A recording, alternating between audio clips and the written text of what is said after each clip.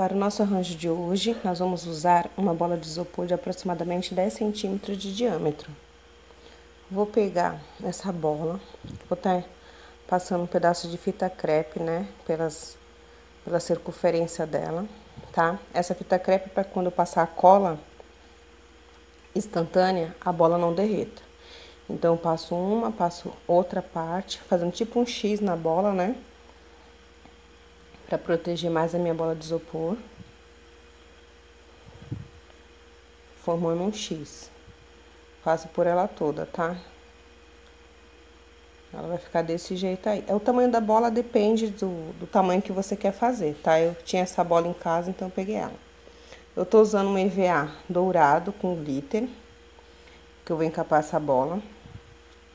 Vou aquecer o meu EVA na sanduicheira, né? Deixar ele aquecer bem para poder embalar essa bola. Aí você procura deixar o EVA bem molinho, né? Quanto mais molinho, mais melhor para você esticar. Ó, como eu tô mostrando aí na imagem. Aí você só vem puxando para baixo, mantenha firme a mão, né? Para esperar o EVA esfriar um pouco, para que ele possa aderir o formato da nossa bola, tá? É a primeira vez que eu encapo uma bola desse tamanho, não tenho muita experiência em encapar bola grande, né? Mas no final tudo dá certo. Eu coloquei em cima de uma xícara, né, para dar uma base, para sustentar na hora de ter que puxar o EVA para baixo. Aí eu tô cortando as rebarbas, tá? Estou cortando para deixar ele mais retinho, né, para não ficar aquele, aquelas ondulações para cima e para baixo. Vou vir com a minha cola instantânea. Vou passar a cola instantânea nas pontinhas ali, nas beiradinhas, como eu tô mostrando aí. Eu tava com essa ideia desse arranjo na cabeça, né? Então, eu quis fazer ele, não quis fazer uma topiaria, eu quis fazer ele de um jeito diferente, como se fosse um galinho caído com umas rosas, né?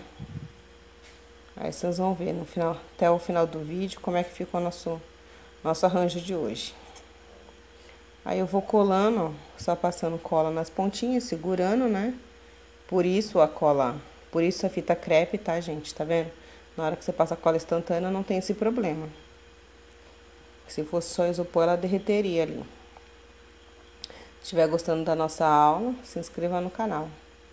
Ative o sininho para receber as suas notificações, tá bom? E deixe seu like, ele é muito importante para mim, hein?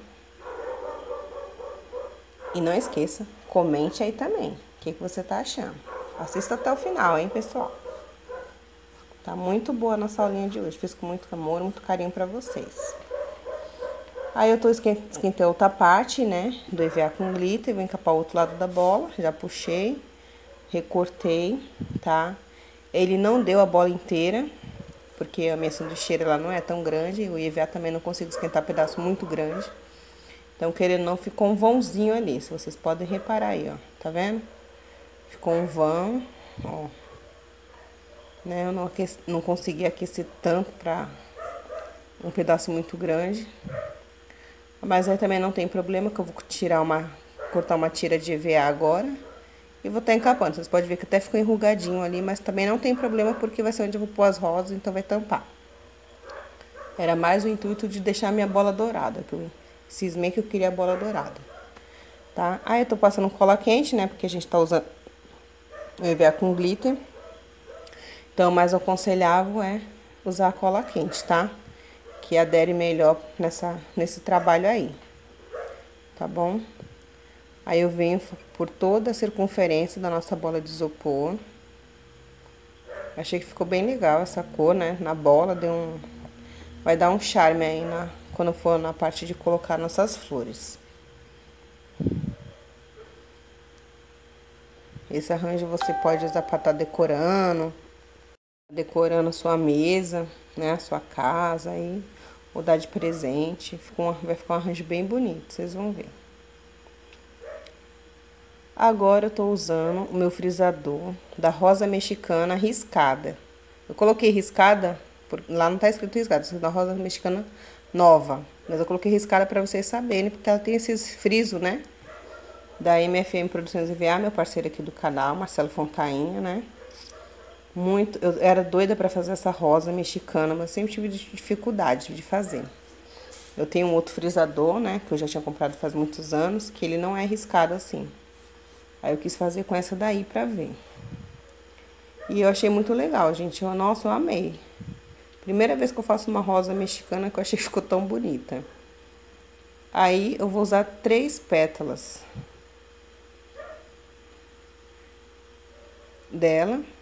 Tô usando também a folha da, da rosa, tá? Aqueci, vou apertar aí agora. Ó, frisa bem pra caramba também, muito bom. Frisador do Marcelo, ó. Tô usando a rosa Priscila também, frisador da rosa Priscila. Nesse vídeo nós vamos usar quatro frisadores, tá, gente? Esse da rosa Priscila aí, é a primeira vez que eu tô usando ele agora, eu vou usar ele como sépula, tá? Pra vocês terem uma noção. Lembrando, se você quiser tá adquirindo os frisador do Marcelo, né? Os acessórios, pistilo, só dar um oi aqui nas meninas, tá? O banner sempre tá aparecendo aqui em cima do vídeo. Dá um oi lá que elas mandam o catálogo para vocês, tudo direitinho. Tem bastante novidade chegando aí, gente. Marcela tá cada dia se superando, vocês não têm noção. Aí eu tô cortando. Esse frisador ele não tem bico, tá? Mas eu deixei um biquinho ali, como vocês podem estar tá vendo na imagem. Que eu queria a minha rosa com um pouquinho de bico, então eu mesmo fiz esse bico na hora de cortar. Em vez de você arredondar, você faz um, um triângulozinho na pontinha ali, tá vendo? Ficou bem legal. A nossa folha eu cortei normal, eu não dei aquelas riscadinhas, né, que dá, só dei uma picotadinha ali bem suave, quase não aparece. Só pra contornar a nossa folha aí, né. Eu gosto também desse frisador da folha de rosa, ele é muito bonito, fica bem delicado. Eu dei uns picotes bem fraquinho mesmo, mas é opcional seu, você pode cortar até com aquela tesoura de picote mesmo tá? Ficou bem suave mesmo. Aí, é o frisador da rosa Priscila, tá? Nossa pétala da rosa Priscila. Eu vou cortar ele em formato de sépala. Vocês podem ver que eu não tô cortando lá certinho na borda. Eu tô menos, cortando abaixo da borda, né? Só a parte interna dele. Que aí, se você tivesse frisador também, ou qualquer outro frisador que seja tipo conjugado, né? Com as cinco pétalas, você pode estar tá usando para fazer uma sépala, tá? Eu só quis mostrar essa parte para vocês terem uma ideia que vocês podem. Se vocês tiver um frisador desse de cinco pétalas, você pode estar tá cortando em molde de pétala. Foi o que eu fiz aí, ó. Tá vendo? Aí ficou bem legal. Tô usando a tinta acrílica fosca verde grama para pintar. Passei na buchinha. Eu gosto desse frisador do Marcelo porque ele frisa muito bem e na hora da pintura fica bem legal. Quando você escolhe um tom mais claro e passa a tinta escura por cima, né? Dá aquele sombreado. A marca bem, né? O frisado ali de baixo. A mesma coisa vou fazer com a sépala, tá, gente? Passei bem aí na parte de fora. Parte de dentro não precisa muito. Mas também não pintei ela toda. Quis que ficasse um pouquinho, né? Do verde claro aparecendo. Ali só passei um pouquinho nas pontinhas mesmo, né? Caso de repente aparecesse alguma coisa na hora de colar. Pra não ficar aquele verde mostrando. Ó, ficou bem legal a sépula, tá vendo? Ó. E são que nós vamos usar. Aí, pessoal, uma pétala, você vai fazer isso. Você vai tirar essas pontinhas, que na hora eu esqueci também. Você vai tirar a pontinha e vai arredondar. Essa parte que eu tô fazendo agora vai ser a parte do nosso botão da nossa rosa. Então, eu vou aquecer e vou apertar com o dedo nas pontinhas, para que o nosso enviar fique bem fininho as beiradinhas da pétala, tá? Isso dá um efeito bem natural na nossa rosa. Esse peão eu fiz com massa de EVA, tá? Fiz um formatinho de coxinha aí, usei a massa de EVA. Vou passar cola aí, a cola instantânea da Perma Bond. Lembrando, se você quiser uma parceria de 50%, só mandar um e-mail aqui pra eles, aqui, que tá mostrando aqui no vídeo. Aí eu passo cola ali, envolvo essa, essa coxinha, né, que tá aí, esse peãozinho. Fechando bem, né? Lógico, para não aparecer meu amarelo do meu peão. Venho com a outra pétala, fecho. E fica um efeito muito legal quando você dá essa, esse apertãozinho nas pétalas e deixa ela fininha. Eu aprendi isso aí com o Marcelo Fontanha mesmo, no vídeo dele. As minhas rosas ficavam com os botões meio extremos. Depois que eu assisti o vídeo dele, com essa pétala assim de apertar, ficou muito legal. E ali já seria o botão, caso você quisesse, é só colocar a sépala. Agora nós vamos para a segunda pétalas, né? Passando cola ali de novo. Lembrando de colocar a emenda de frente para a pétala, tá? Nunca emenda com emenda. Então, eu vou passando um pouquinho de cola só na lateral, vou dando a volta, bem pouquinho mesmo. Lá na emendinha do recorte. Ó, ó como ficou bonita. Agora, nós vamos para nossa terceira pétala, tá? Essa flor, a rosa mexicana, eu vou usar quatro pétalas. Intercalei de novo. Ó, e vamos colocar a última pétala. Fica uma rosa bem bonita, gente. Nossa, eu amei essa rosa, amei mesmo. Fico pensando em fazer uma topiaria todinha dela, né? Um buquê, nossa, vai ficar show de bola. Olha como fica bonita. E agora eu vou colocar nossa sépala. Olha ali direitinho, tá? Procuro colocar a sépala na direção mesmo da, das emendas das, das pétalas da rosa. Passo a cola instantânea e vou colando. Eu tô arrumando porque eu colei errado ali e tal. Ó, ficou bem legal. Olha que linda. Esse azul é um azul royal, tá? Aqui tá a nossa bola encapada. Eu vou cortar, tá? Os pedacinhos do, do cabo para deixar nossa, o cabo da nossa rosa mais curtinho. Vou colar as folhas na bola, na lateral ali, onde tem essa tirinha do meio. Aí é opcional o jeito que você quiser decorar, tá? Eu tô fazendo desse jeito. É mais uma ideia, só para você ver como é que eu fiz, né? A ideia inicial que eu tive. Colei três folhas. Eu tô fazendo um furinho com palito para ficar mais fácil na hora de colar a minha rosa e enfiar o arame, que esse arame é fininho, né? Então, eu vou ali, ó, fio o palito, passo cola quente e seguro ali. Tô fazendo mais um furinho para colar nossa segunda rosa. Esse arranjo ele vai ter ele vai ter seis rosas, tá, gente? Essa bola aí. Ele tá com azul royal, ele tá com azul claro e tá com azul intermediário. Aí na imagem não sei se vocês vão conseguir ver, mas tem três tons de azul. Aí eu vou colar nossa terceira rosa.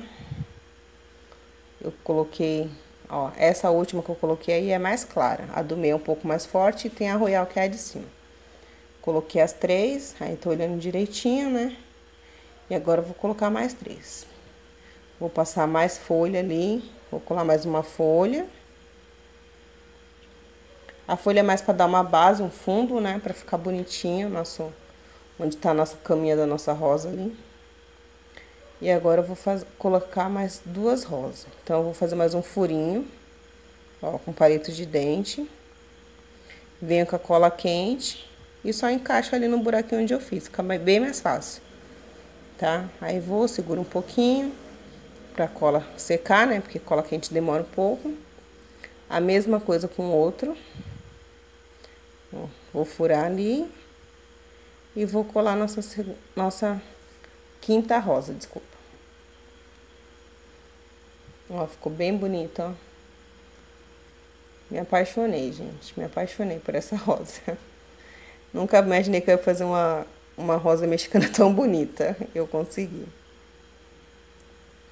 E vou colar a última rosa, tá? Ó, ficou bem legal. Aí você pode estar tá encapando a bola inteira, né? Se você quiser fazer uma tupiaria, você encapa a bola inteira. Aí não era a minha intenção, eu queria só fazer uma bola dourada com algumas rosas detalhadas ali. Peguei um arame, esse arame é arame cozido, dobrei ele em duas vezes, porque ele vem dois arames, né, já grudado nele. Aí cortei um pedaço bem grande e dobrei no meio e fiz esse movimento como se fosse um, a metade de um coração na realidade, né? É um C, mas ele, ele lembra a metade de um coração. E vim passando a fita crepe, né? Porque cerame ele solta aquele ferro, né? Aquela sujeira do ferro. Então eu passo a fita crepe para proteger mais ele até, né? Aí você encapa ele todinho. Aí vai do jeito que você quer também. Eu tive essa ideia, né? Vocês vão entender depois o porquê. Aí vai passando a fita crepe nele todo, tá, gente? Aí foi um jeito que eu coloquei, mas na hora de colocar a bola eu vou arrumando. Ó. Você reparar um pouco, a minha mão até sujou ali, por causa do ferro. E vem embalando ele inteirinho. Essa fita crepe você pode estar tá comprando em papelaria, em casa de material de construção, até aquelas fitas de fralda de bebê, né? Que vende de farmácia também, você pode se você tiver. Tá? E ele fica assim, tá vendo? Lembra metade de um coração. Aí eu fiz um furo ali, ó, com a ajuda da tesoura. Vou encaixar essa ponta ali agora, pra ver como é que vai ficar, né? Mais pra ter uma noção do que eu realmente estava querendo, como que ficasse a minha armação, tudo direitinho. Ó, tá vendo que ele lembra realmente um coração, né? Ó. Eu queria que o arco ficasse para um lado e a bola ficasse para o outro. Então, eu fui arrumando ali, ó. Aí, tudo isso eu tô arrumando antes de poder colar, né?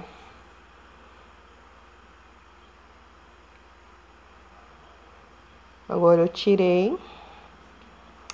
Eu peguei essa fita, essa fita é meio aquelas fitas de Natal, tá? Ela tem até um arame nela, mas eu não tirei não, deixei. Ela tem aproximadamente um centímetro e meio quase. Passei ali por toda a volta. Esse pedacinho que eu deixei é o pedaço que eu vou enfiar dentro da nossa bola com a cola quente, tá? Então eu vim embalando essa, esse arame com essa fita dourada. Eu achei que ia combinar, ia ficar bem legal, né? Que a bola era dourada, então não queria fazer de verde musgo, nem de fita floral. Então quis fazer uma coisa mais chique. Ficou bem legal. Aí eu vou passando um pouco de cola, né? Não precisa passar toda hora. Dá umas 10 voltas, 6 voltas e vai, passa um pouquinho de cola. E vai até o final ali, ó. Não cheguei até o final, porque aquela parte é a parte que vai no gesso, então também não tem muita necessidade. Tá? E ficou desse jeito aí, ó. Ficou bem legal. Ó. Agora vem a parte de colocar a nossa bola, tá? Tô arrumando ali, ó. Vou olhar de novo. Agora eu vou vir com a nossa cola quente na pontinha ali. E vou afundar esse arame bem ali na nossa bola para que fique bem certinho mesmo, tá? Para não ficar nem muito para trás nem muito para frente. Então ele ficou bem no meio dessa fita de EVA dourado que nós colocamos na emenda da nossa bola. Agora eu tô arrumando de novo, né? Porque agora já tá com as flores tudo certinho. Vou arrumando ali do meu jeito, do jeito que eu queria na realidade. Mas você pode fazer do jeito que você quiser, pessoal. Ó. Agora eu vou pegar o frisador de novo da Rosa Priscila e agora realmente eu vou usar ele como rosa, tá? Vou fazer uma outra rosa, que é onde eu vou fazer a parte ali do arame dourado que a gente encapamos. Aqueço o meu EVA, só pressionar bem, tá? Fica essas bordinhas aí certinho, ó. Vou aquecer mais um, porque eu vou mostrar o passo a passo ali pra vocês da rosa. E tem um, essa rosa no galho vai ter três, três partes, né? Tem o botão, o botão meu abrindo e a rosa já aberta. Então, aí na parte da frisagem, na hora de montar, eu vou mostrar pra vocês, pra vocês entenderem. Então, eu tive que frisar duas vezes ali. Aí, eu tô usando o frisador da Sépala M, tá? Agora, eu vou usar o frisador da Sépala mesmo. Aqueci o meu EVA. Aqueço bem, deixo amolecer ali na sanduicheira. Você pode usar chapinha, ferro. E só pressionar bem. Tá bom? Ó, marca bem, super legal. Aí eu vou recortar. O banner das meninas tá aqui em cima, tá, pessoal? Se quiser adquirir, gente, o Marcelo, vou contar pra vocês. O Marcelo fez um, uma, um morango de resina. Gente do céu, vocês não têm noção do que é aquele morango. Eu me apaixonei por aquele morango, dá vontade de comer. Eu tô doida pra ver o vídeo dele. Fica ligado no canal dele, viu? É MFM Produções EVA. Tá show de bola. Tô doida pra ele fazer o vídeo dos morangos, gente. Me apaixonei. Sou apaixonada por morango. Eu amei os morangos. E aqui eu tô cortando, pessoal. Tô cortando aí direitinho, né, ó. O frisador mesmo, ele te dá a marcação exata onde você tem que cortar, então não tem muito mistério, né. Essa rosa eu vou usar só três recorte, tá? Três pétalas aí, né?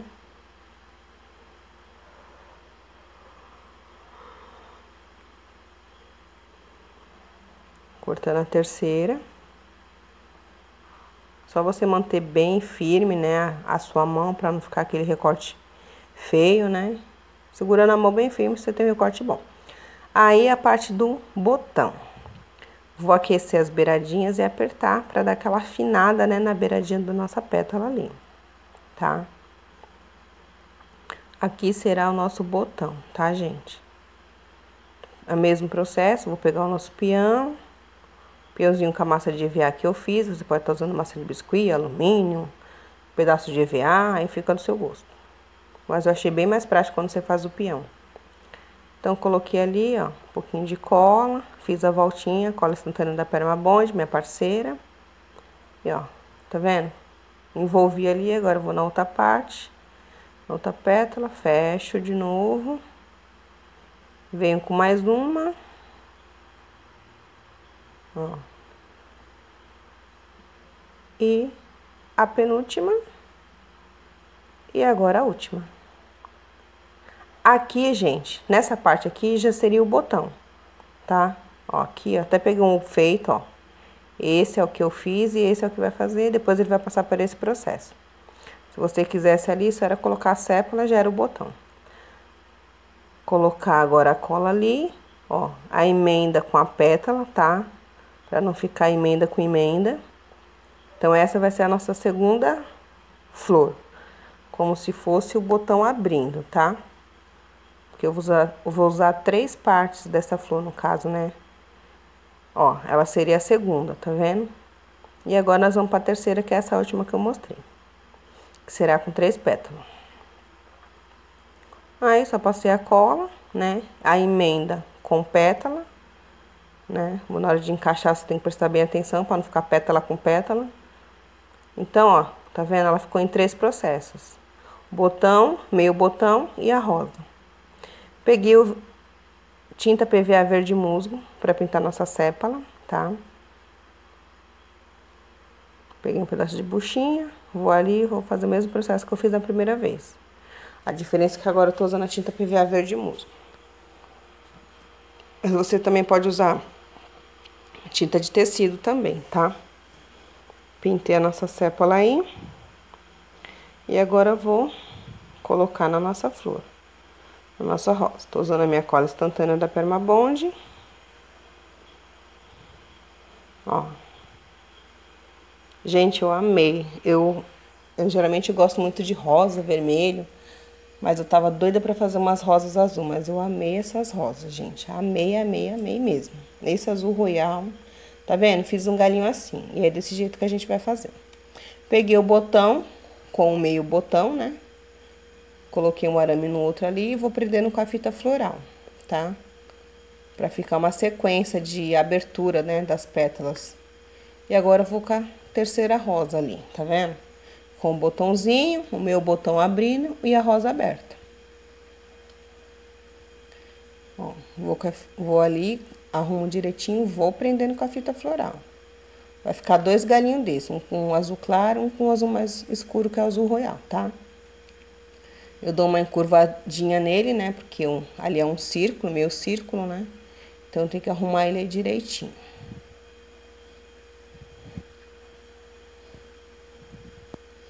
Agora vou aí, coloco aí o... Aí eu tô arrumando aí, tá, gente? Pra ver como é que eu ia colocar. Aí eu tive a ideia de amarrar com a linha, tá? Eu peguei um pedaço de linha, fui tentar amarrar. Mas eu vi que depois não ia dar certo, do jeito que eu tava querendo. Não tava ficando muito preso, eu não tenho muita experiência em ficar amarrando esses negócios com linha. Aí eu olhei ali, aí ficou frouxo, aí eu não gostei. Ó, ficou mole, eu não gostei. Aí eu fui tirei a linha toda, falei, não, vou fazer com a fita floral que é mais segura. Tá? Aí eu, você faz do seu jeito. Se você conseguir prender bem com a, fita, com a linha, né? beleza. Eu não consigo, não consegui. então eu apelei para fita floral mesmo, que é o que eu mais tenho prática. E vou passando ali, ó, entre as, entre as flores, né? Pra ficar bem preso o nosso galho, tá vendo? Eu deixei a fita bem esticadinha, né? Como se fosse uma linha mesmo ali. E vim prendendo bem a nossa folha, nossas flores, né? Desculpa. Ó. Coloquei ali bastante fita floral ali. Pra ficar elas bem firme, né? Ficar bem bonitinho mesmo. E deu um charme, viu, gente? Esse formatinho que eu fiz aí do, do arame ficou muito legal. Tô passando cola nas beiradinhas da fita floral, né? Pra não soltar. Ó, coloquei a primeira e agora vou colocar o nosso azul escuro aí embaixo. Tô olhando direitinho, né? Porque ele vai acompanhando esse, esse arco. Faço o mesmo processo, tá? A diferença é que eu comecei de baixo pra cima. Vou cortar o excesso, né, do nosso, do nosso galho. Aí vou prendendo aí direitinho, tá? Faz o mesmo processo, aí você pode prender do jeito que você achar melhor, né? Eu acho, achei bem mais fácil assim pra mim. E você vai prendendo. Aí vim passando, Tentei mostrar bem pra vocês. Aí minha fita rasgou aí no meio. Mas eu continuei mesmo assim. Não tinha problema porque eu ia... Continuei usando os dois pedaços ali que tinha aberto, tá? E fui prendendo nosso, nosso galinho, né? Esse galinho com as rosas. Achei que ficou bem legal. Deu um charme aí. Ó. Aí você pode fazer nas cores que você quiser, né? Tom sobre tom, ou várias cores. Eu achei bem legal usar três cores de azul, né? E esse azul royal, eu particularmente amo esse azul, acho que ele é muito bonito. E olha como ficou legal a montagem, né? Tá quase acabando, hein, gente? Fica até o final. Agora eu peguei as folhas, tá? Passei um pouco de cola instantânea aí e vou colar na rosa. Eu pensei em colar até nesse ferro por trás, mas não ia ficar legal. Tentei ver antes dessa parte da filmagem, mas não achei que ficou legal, então colei direto na nossa rosa mesmo. Atrás da rosa mesmo, tá? Só passei cola e colei, olhei mais ou menos como ficava. E, ó, e fui colando, tá vendo? Usei quatro folhas aí e vou colar a última ali. Colei atrás do nosso botãozinho ali. Ó, ficou desse jeito. Olha que lindo que ficou, gente. Comenta aí o que, que vocês acharam desse arranjo. Eu tô amando. Eu tinha essa xícara que eu ganhei da minha mãe, tá? Ela tinha quebrado a alça. Eu achei ela muito bonitinha, porque ela com boquinha, né? Eu falei, não vou jogar fora. Minha mãe falou, ó, vê o que, que você pode fazer com ela e depois você usa aí. Para o seu artesanato. Então, eu tava esperando o momento certo. Chegou o dia de usar ela. Eu fiz as duas rosas, né, pequenas ali. Passei cola quente para segurar o galinho dessas rosas, tá? Uni elas primeiro e juntei ali. Aí eu tô vendo, né, com a, com a folha, como é que ia ficar mais ou menos. Até então não tinha nem noção ali como é que eu ia fazer. Mas aí passei mais cola quente por cima, né, pra ela ficar bem presa. Ela já ficou presa. Cola quente já secou. Vim com duas folhas, tá? Passei cola instantânea. Um eu cobri realmente, né, essa parte da, da colagem para não ficar aparecendo. Porque o intuito meu era realmente tampar essa parte que estava quebrada. Que quebrou a alça, né? Mas a, a cumbuquinha tava inteira, na realidade. É um jeito de você aproveitar. De repente você tem uma xícara aí que quebrou uma alça, alguma coisa. Já pode decorar. Faz um vasinho dela. E coincidentemente o desenho da, da, dessa cumbuquinha na frente, ele é uma rosinha.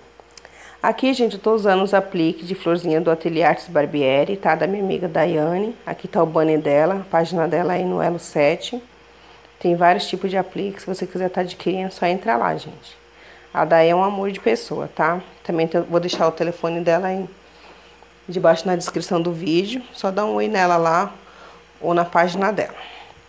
Aí peguei a florzinha, aqueci, né? A ponta.